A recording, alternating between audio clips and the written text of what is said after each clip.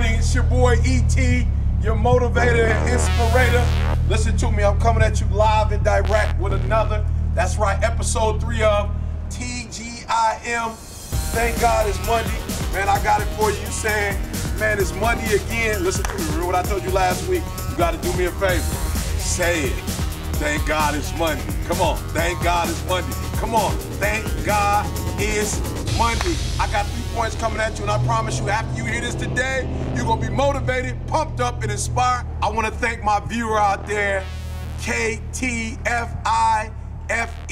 You said it. You're gonna watch this every single day, and it's not only gonna be TGIM, but you said it's gonna be TGI T, TGI W, TGI T, and TGI F. I was in an advising session with a student, right? Man, I wish you guys could have been there. And as I was listening to her talk, I thought to myself, these words need to be the inspiration for my Thank God It's Monday, the third one. So here goes, guys. So what we do in the advising session is we primarily go over all their tests, all their quizzes to see exactly where the student stands academically. All right, so while we were going over her stuff, I noticed that she had a 68% on one of her tests. That's right, a 68%. Now, you know what a 68% is. That's right, that's a D, it's failing. But as I was talking to the student, she said to me, Mr. Thomas, before you go there, you got to put it in perspective. That's principle number one. You got to put life in perspective. As I was talking to the student, what I realized is, although she got a 68 on the test, she said when she went to her teacher, she had the highest grade, that her 68 was the highest in the class, and the next highest grade was a 38%. So you do the math. A 68 was actually an A and not a D, all right? Because her teacher was grading her on the curve. You're saying to yourself, man, E, things could be so much better.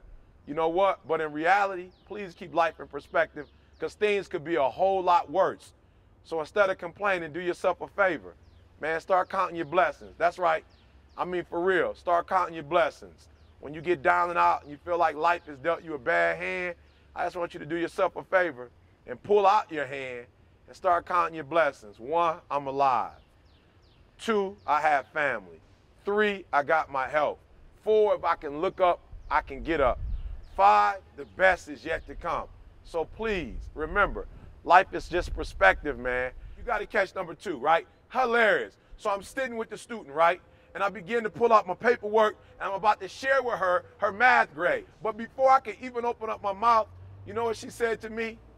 Don't even talk about it. That's right. She told me, E.T. the motivator, don't even talk about it. What she was saying was, look, I'm not trying to be disrespectful, but I already know I'm not doing that well in math. My teacher has talked to me about it. I've got a tutor, and guess what?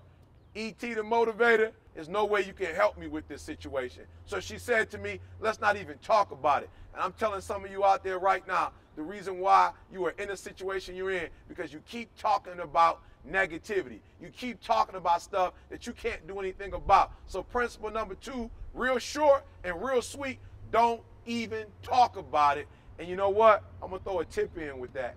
Not only don't talk about it, but there's some things you shouldn't even listen to. All right? Negativity, there are things that people are coming to you with that you know you can't change. There's nothing you can do about it. Don't just not talk about it. Don't listen to it. Man, it's amazing what you can learn while you're working with students, right? So I was working with a student the other day, and this a young man in tears, right? And so I started to ask him, well, you know, what's the problem? And he told me, you know, look, man, this thing is overwhelming.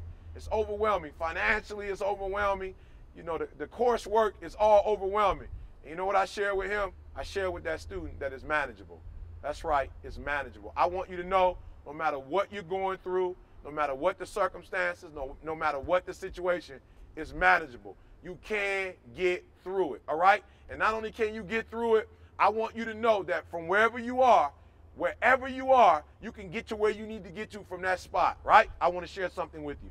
Most of you guys know I was homeless for two and a half years, right? Homeless for two and a half years and a high school dropout. But one day I just made up in my mind that I was not going to allow homelessness. I was not going to allow being a high school dropout. I was not going to allow that to define who I was. And so I said, you know what, Eric, it's manageable. It's manageable. But what you got to do, man, some of you, you live seven days at a time. You live 30 days at a time. And I had to say to myself, Eric, you can do this, but you know what? You're going to have to do this one day at a time. That's right, one day at a time. And so I started studying for my GED one day at a time. And I went from a high school dropout to a college graduate to get my master's and working on my PhD. I went from being homeless to being a homeowner. So I want you to know you can do it, but you got to break it up in pieces. That's right, take your rent one month at a time. Take your life one day at a time. And I guarantee if you take it one day at a time, you will see how manageable it is. And one day you will look up and you can get up. This is your boy ET, your motivator, your inspirator. Thank God it's Monday. Thank God it's Monday. I hope this is enough to get you through your Tuesday, your Wednesday, your Thursday. And I hope to hear you say on Friday, thank God it's Friday. Once again, it's ET, your motivator. I'm out, and I'll see you next week.